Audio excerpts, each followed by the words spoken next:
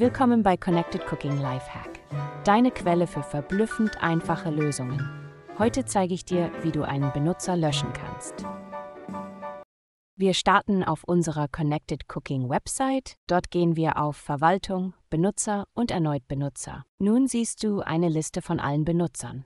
Um ihn zu löschen, gehe auf die drei Punkte und wähle Löschen aus. Daraufhin öffnet sich ein Fenster, bestätige, dass du diesen Benutzer löschen möchtest. Und so einfach geht's. Dein Connected Cooking Team wünscht dir viel Spaß.